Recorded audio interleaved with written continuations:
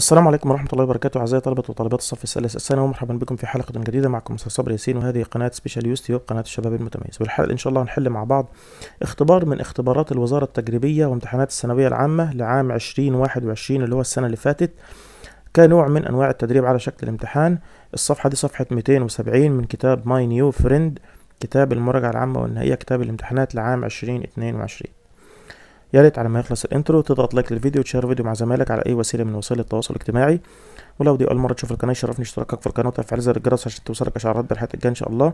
ولو قدرت إنك تدعم القناة بتحويل مبلغ مالي على رقم فودافون كاش الظاهر قدامك على الشاشة اكون ممتن جدا. ولمشاهدة باقي فيديوهات آه كتاب My New Friend الكتاب الحلقة دي بس أنا هنزلها على العام اللي كل الناس تشوفها. باقي الحلقات اللي تخص المنهج برضه هتفضل زي ما هي باشتراك. اللي حابب يشترك يبعت مبلغ 100 جنيه على رقم فودافون كاش الظاهر قدامكم على الشاشة. واستنوني بعد الانترو.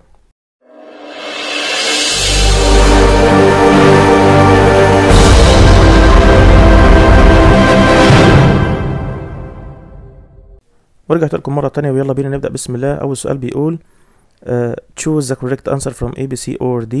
أول سؤال بيقول a نقط is something that people do as it is traditional. الإجابة هتكون كلمة custom اللي معناها بالعربي عادة أو عرف أو تقليد اللي هي تقاليد المجتمع. بقول حاجة شيء ما الناس تفعله كشيء تقليدي. traditional صفة معناها تقليدي يعني من تقاليد المجتمع. كاستيوم معناها زي أو لباس اللي هو اللبس اللي الناس بتلبسه مثلا على خشبة المسرح هما بيمثلوا أو في الأفلام. ده اسمه كاستيوم أو في حفلة عيد ميلاد حفلة تنكرية يعني كل الحاجات دي أو في المهرجانات ده برضو اسمه كاستيوم. كاستمر uh, دي اسم معناها زبون وكونسيومينج دي صفة معناها مستحوذ على عقله ووقته. لما تكون في حاجة شغلة بالك قوي لو قلت على سبيل المثال عشان أوضح المعنى sport is here consuming passion. تبقى تحت هنا. Passion يعني ولع أو شغف. طبعا لها معاني تانية بتيجي بمعنى غرام عنيف اللي هي كلمة passion أو مثلا حب ملتهب أو عاطفة جامحة. إنما في الجملة اللي أنا كتبتها الجملة معناها إن الرياضة هي شغفها اللي بيستحوذ على عقلها ووقتها. طبعا كلمة consuming اللي هي الصفة دي متاخدة من الفعل اللي اسمه consume اللي هو معناه فعل معناه يستهلك. ولو حطيت لها آر زي ما هي كده لها بالغلط اللي هو معناها مستهلك consumer. ماشي؟ المسألة اللي بعدها رقم اتنين. I cannot believe what you have said. Are you serious? The antonym of the word serious is not. الجملة معناها أنا لا أصدق ما قلته. هل أنت جاد؟ مضاد كلمة جاد كلمة joking اللي معناها بالعربي مازح. أو بيهزر يعني. Dangerous خطير safe آمن delighted صفة معناها مسرور أو سعيد. وفي كلمة تانية شبهها اسمها delightful. Delightful دي بقى معناها إيه؟ معناها مبهج أو لطيف أو سار يعني يدخل السرور على النفس. رقم ثلاثة when my father asked me about the exam I told him that I didn't know it well كلمة well بيجي معاها do well يعني يحل كويس في الامتحان. والجملة معناها عندما أبي سألني عن الامتحان أخبرته أننا مع أننا ما حلتش كويس في الامتحان. رقم أربعة نقط seeing the accident I called the ambulance. الإجابة هتكون كلمة on. و on بديل الجملة اللي بتقول when I saw the accident I called the ambulance. يعني عندما رأيت الحادثة اتصلت بعربية الإسعاف. ما تنفعش during لأن during ما بيجيش بعدها verb ing during احفظها ما بيجيش بعدها verb ing إلا إذا كان الاسم تكوينه بالشكل اللي هو بيكون فيه verb ing فدي حاجة تانية. كلمة while رغم إن بيجي بعدها verb ing بس لو لاحظت إن الفعل سي لا يوضع في الأزمنة المستمرة. بمعنى يرى دي حاجة. الحاجة التانية إنه بيعبر عن شيء استمر يعني لو أنت هتستخدمه هتقول بيعبر عن شيء استمر فترة. فهل هي رؤية الحادثة بتستمر؟ ده هو بمجرد ما شافها كده من الأحداث اللحظية. ما ينفعش تستخدم while رغم إن برضو بيجي بعدها verb ing و before برضو بيجي بعدها verb ing بس المعنى مش هيظبط معاها. لأن أنت هتقول قبل رؤية الحادث. اتصلت بالإسعاف؟ طب ما أنت كنت بتتصل بالإسعاف ليه؟ يبقى نختار on اللي معناها عند رؤية الحادث أو فور رؤية الحادث اتصلت بعربية الإسعاف. رقم خمسة his first novel established him as one of the most promising writers. The synonym of the word established here is not. الجملة معناها إن أول رواية له رسخت قدمه. Establish هنا فعل معناها يرسخ قدمه أو يثبت آه، أقدامه. آه، ثبتته أو رسخت قدمه كواحد من الكتاب الواعدين أو أفضل الكتاب الواعدين يعني لهم مستقبل مشرق. مرادف كلمة established هتكون كلمة proved اللي معناها يثبت ويبرهن على. يثبت ويبرهن على. كلمة distressed من الفعل distress اللي معناها يحزن أو يؤلم أو يقلق. والصفة منها distressing اللي معناها محزن أو مؤلم أو مقلق. Produce فعل معناه ينتج. Discredit ده فعل معناه يزعزع ثقة الناس به. أو بتيجي بمرضى بمعنى يشوه سمعته. والنون منها كلمة اسمها discredit بالشكل ده. اللي معناها فقدان الثقة أو تشويه السمعة. المسألة اللي بعدها رقم ستة She is not of Cairo University She has specialized in physics. الإجابة هتكون a graduate كلمة a graduate معناها خريج دي اسم. عشان قبلها أهي الجملة معناها هي خريجة جامعة القاهرة. طبعا مش هينفع ناخد graduated لأن graduated بتاخد حرف الجر إيه؟ from. A graduate اللي هي معناها خريج بتاخد حرف الجر of. و graduating وال graduation دول معناهم التخرج ومش هينفع. رقم سبعة My parents usually inspire me to take note in serious discussions about my future. الإجابة هتكون take part in اللي معناها يشارك في والجملة معناها إن والدي عادة ما يشجعوني أو يلهموني إن أنا أشارك في النقاشات الجادة عن مستقبلي أو بخصوص مستقبلي. port معناها ميناء و take place دي معناها يحدث و take turn دي معناها يتبادل الأدوار. رقم تمانية Mona got bored نقط herself alone she decided to read a science fiction story. الإجابة هتكون ال gerund اللي هو finding والجملة طبعا دي إحنا كده بادئين بيها دي جملة خلصت أهي منى got bored دي جملة انتهت أهي. لما تيجي تبدأ الجملة أي جملة ب verb ing بالشكل ده ده اسمه gerund clause وبيكون معناه because الجملة هنا بيكون معناها إيه؟ because أنا هرجعها لك لأصلها. because she found ده كان أصلها. لأنها وجدت نفسها بمفردها أو تشعر بالوحدة عملت إيه؟ she decided to read a science fiction story. قررت إنها تقرأ قصة خيال علمي. يبقى لما أنا يكون الجملة فيها because بالشكل ده بقوم حذف because واحذف الفاعل والفعل أحوله ل verb ing وأبدأ بيه الجملة. المسألة اللي بعدها رقم تسعة the only way نقط doing this is to have permission. الإجابة طبعا هتكون of عشان أنت عندك جاي بعدها verb ing. ما ينفعش تاخد to لأن to بيجي بعدها المصدر. مم- ممكن تقول the only way to do this. لكن طالما عندك verb ing يبقى هتختار of. رقم عشرة I saw Aitin last week. I نقط her since 2019 المسألة دي بتتكرر جدا في الامتحانات والإجابة هتكون I hadn't seen her. مش هتختار المضارع التام. انت كده كده دول ملناش دعوة بيهم. مش هتختار المضارع التام. لأن هو بيقول أنا شفت أيتن الأسبوع الماضي. يبقى أنا شفتها الأسبوع الماضي أهو. ده الحدث أهو. بيقول بقى أنا لم أرها منذ 2019 يعني من 2019 لحد الفترة دي ما كانش شافها. دي الحاجة اللي حصلت الإيه؟ الأول اللي هو زمن الماضي التام. إحنا عارفين الماضي التام حاجة حصلت الأول. الحاجة التانية بقى إن هو شافها الأسبوع الماضي. دي اللي كانت الأسبوع الماضي. بدي الحاجة التانية. الحاجة الأولى بقى تكون في الماضي التام. ما تتلخبطش بين المسألة دي. لو خدت المضارع التام مش هيظبط. لأن أنت لو قلت أنا ما شفتهاش من 2019 معناها إن أنت ما شفتهاش خالص لحد اللحظة اللي أنت بتتكلم فيها. لحد اللحظة اللي أنت بتقول فيها الجملة. طب إزاي وأنت لسه شايفها الأسبوع اللي فات؟ خد بالك من اللخبطة في المسألة دي. رقم 11 when you conclude writing your essay you should نقط الإجابة هتكون summarize its content. الجملة معناها عندما تختتم أو تستنتج كتابة المقال ينبغي أن تلخص المحتوى بتاع الاساي كله. Make the end open مش هتنفع اللي معناها تجعل النهاية مفتوح. Put a full stop. ما أنت كده كده هتحط full stop.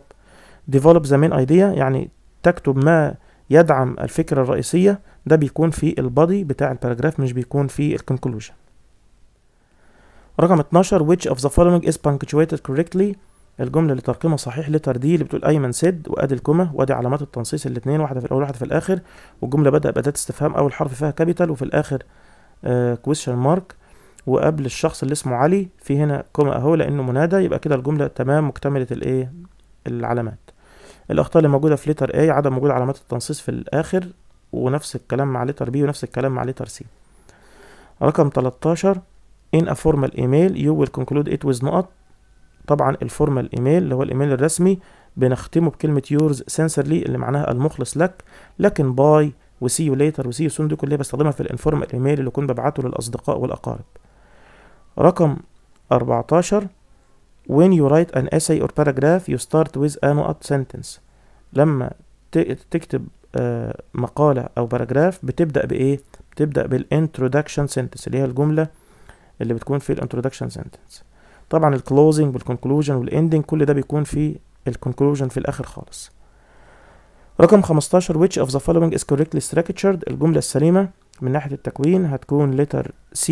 One's parents know what is best for one.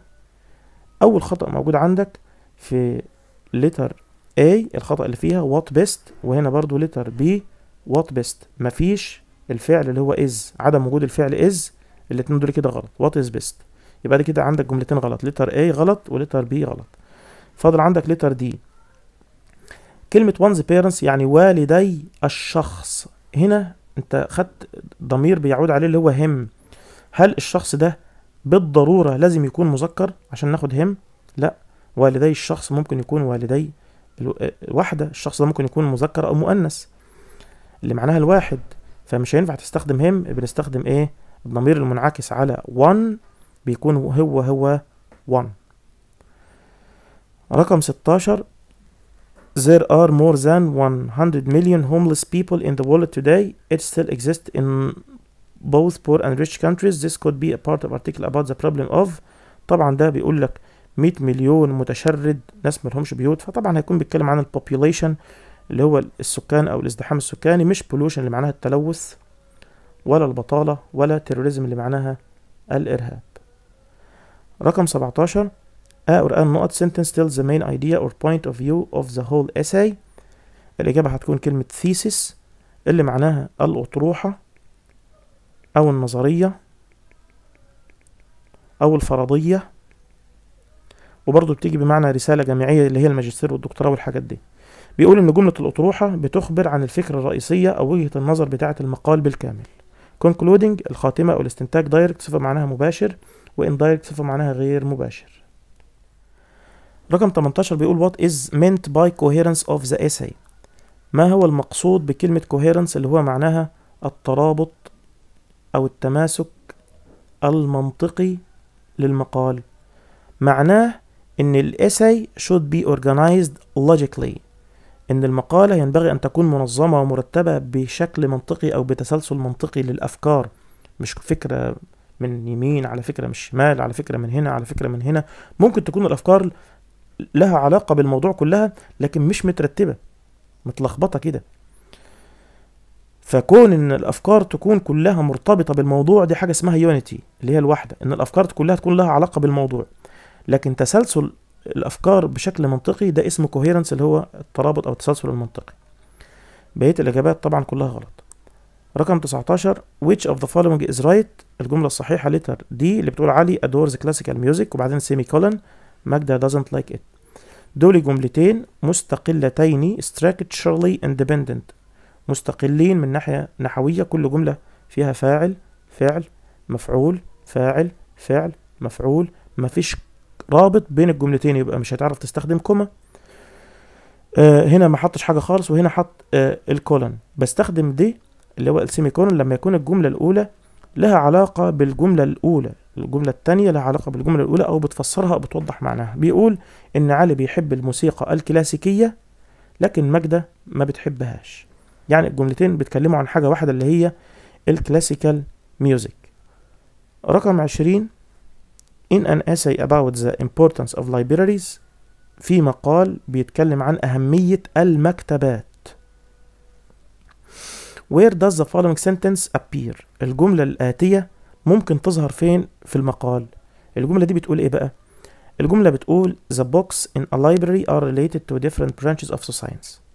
يعني الكتب في المكتبة مرتبطة بفروع مختلفة من العلم أو من العلوم.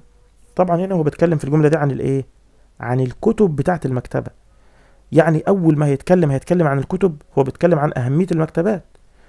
يبقى مش أول ما هيتكلم مستحيل هيكون بيتكلم عن أهمية هيتكلم عن الكتب. يبقى مش هتكون في ال introduction ولا في ال title ولا في ال conclusion. هي ممكن تكون في ال body اللي هو جسد الايه؟ المقال.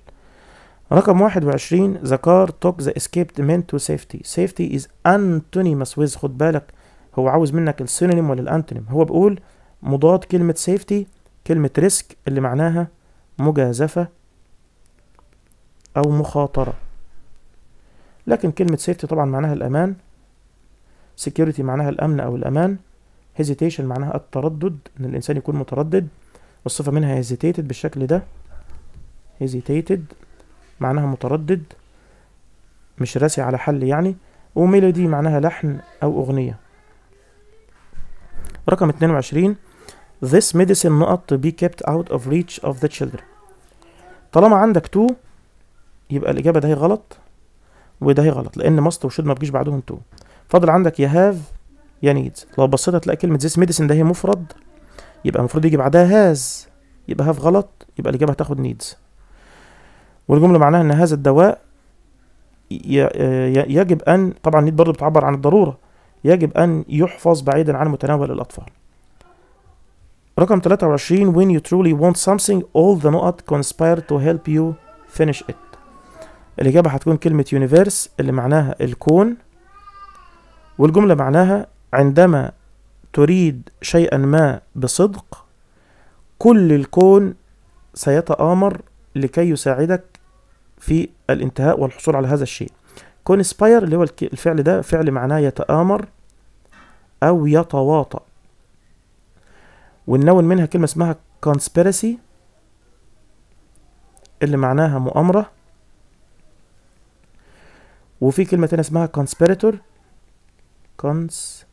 Conspirator دي معناها متآمر أو متواطئ. كلمة prose دي معناها النثر النثر اللي هو شكل من أشكال الأدب space يعني الفضاء و verse معناها الشعر. رقم 24 which of the following is wrong الجملة الخطأ هتكون letter C they don't allow to smoke here. الخطأ اللي فيها إن allow لو ما جاش بعدها مفعول يبقى بيجي بعدها verb ing يبقى المفروض تحط هنا smoking. لكن لما بيجي بعدها مفعول بتاخد to زائد المصدر. يعني ممكن تقول they don't allow people to smoke here. تمشي. هنا aren't allowed to زائد المصدر isn't allowed here. التدخين ليس مسموحا هنا. You mustn't smoke here. كل ده جمل صحيحة مفيش فيها أي خطأ. رقم 25 My travels around Europe gave me several نقط المهم بعد ما تقرأ ده كله ده كلام كتير جدا مش عايز أقرأه. هتحل عن طريق الاستبعاد. أنا قلت لك لما يكون عندك أكتر من فراغ يعني عندك نقط كتير استبعد إجابات. أنسب جملة للاستبعاد هتكون الأخيرة. If you aren't going if you aren't doing an نقط. شوف هنا عندك أنا أهي. يبقى ده هي غلط. لأن فيها ان مش ينفع تقول ان ان وكمان دي غلط. برضو فيها ان مش تقول ان ان وهنا بقول in the laboratory in the laboratory اللي هو المعمل. هو انت هتعمل إيه في المعمل؟ هتعمل أكيد experiment اللي هي تجربة معملية مش هتعمل experience اللي معناها خبرة. يبقى الإجابة هتكون letter D هي الإجابة الإيه؟ الصحيحة. دايما لما يكون عندك أكتر من فراغ استبعد إجابات على طول وشوف أنسب مكان تستبعد منه أو أفضل يعني وأسهل واحد. رقم 26 The thieves entered the flat and نقط it زي نقط all the money and some device. بص في فرق بين الفعل steal والفعل رب. الفعل steal معناها يسرق شيء والفعل rob معناه يسرق شخص أو مكان. تعالى هنا بيقول لك إيه the flat اللي هي الإيه flat يعني الشقة أو الشقة. بيقول اللصوص دخلوا الشقة and إيه it يبقى مش هينفع stole لأن stole بتيجي مع الأشياء. إحنا دلوقتي بنتكلم عن مكان اللي هي شقة و stole دي كمان غلط. فاضل عندي C و D هتقول بقى زي نقط all the money ال money ده إيه؟ ال money ده شيء. يبقى مش هينفع تستخدم معاه إيه؟ رب. يبقى فاضل عندك لتر سي هي الإجابة الصحيحة. رقم 27 he has never been to China. Hence he knows very little about it. This shows not. آه، الإجابة هتكون كلمة effect اللي معناها التأثير أو النتيجة. الجملة معناها إن هو عمره أبدا ما سافر إلى الصين. ولهذا السبب أو لذلك كلمة هنس ده هي بتساوي so معناها لذلك أو لهذا السبب. ولذلك هو يعرف القليل جدا عنها عن الصين يعني. contrast يعني التناقض addition يعني الإضافة وريزون يعني السبب. رقم 28 which of these is used as a form of greeting for business people أي من الأشياء التالية تستخدم كتحية لرجال الأعمال؟ طبعا واضحة جدا هتكون dear sir اللي هو سيدي العزيز. مش هتكون dear father أبي العزيز ولا dear علي آه، عزيزي علي ولا dear Mr باتل عزيزي Mr باتل. رقم 29 out of the given options which best expresses the meaning of the given proverb don't count your chickens before they hatch. السؤال معناه أي من الاختيارات التالية تعبر أفضل تعبير عن معنى المثل التالي. المثل بيقول إيه؟ في مثل أجنبي بيقول don't count your chickens before they hatch. ما تعدش الفراخ اللي عندك قبل ما يفقسوا من البيضة. يعني في واحد عنده مثلا آه، كذا بيضة عنده فهو معتقد إن هو راجل عنده ثروة كبيرة عد البيض فهو معتقد إن هو عنده ثروة كبيرة بناء على عدد البيض اللي موجود قدامه. فالحكمة بتقول إن أنت ما تعدش الدجاج هو معتقد إن ده بقى دلوقتي إنه عنده 1 2 3 4 5 6 7 إن هو عنده سبع دجاجات. فهو بيقول له ما تعدش الدجاج اللي عندك لحد ما يفقس ويبقى دجاج بالفعل. إنما هو دلوقتي لسه في مرحلة إن إيه؟ إن هو لسه في البيض ما فقسش. كلمة هاتش ده فعل معناه يفقس. ولو حطيت له أوت معاه يبقى كده فريزال فيرب معناها يدبر مؤامرة أو يحيك دسيسة يتآمر يعني. ولو بتمشي اسم برضه كلمة هاتش بتمشي اسم بيكون معناها إيه؟ بيكون معناها باب الطائرة. باب الطيارة اسمه هاتش.